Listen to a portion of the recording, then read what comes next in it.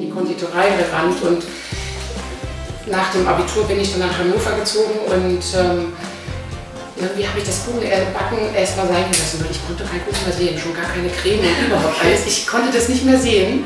Und ähm, ja, dann kamen halt die Kinder und dann hat man wieder angefangen für die Geburtstage zu backen, hat aber so so neue Kuchen gemacht irgendwie, ne? die gerade so in waren irgendwie, was man so von anderen Eltern gehört hat irgendwie ähm, und natürlich dann auch irgendwie so buntes mit Smarties und so und ähm, ja, dann kam der Pascal und hatte gefragt und ähm, fand ich das total schön, jetzt mal ein altes Rezept wieder hervorzuholen, ja. weil, weil meine Kinder kannten das noch gar nicht.